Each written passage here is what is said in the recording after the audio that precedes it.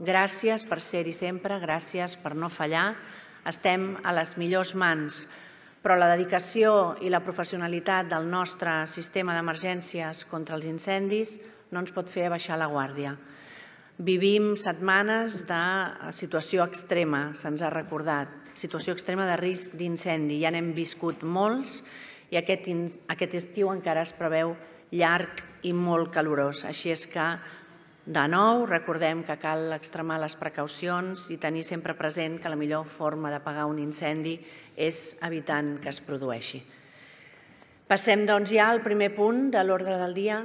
Sí, senyor Martín Blanco, per què em demana la paraula?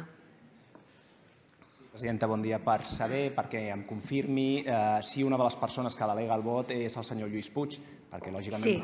vostè sap que això La contravé resposta les és sí. resolucions del Tribunal Constitucional i ens reservem les eh, conseqüències jurídiques i judicials que això pugui tenir per vostè. Senyor Martín Blanco, la resposta és sí. Un dels vots delegat per aquest ple és el del diputat Lluís Puig. Passem al primer punt de l'ordre del dia.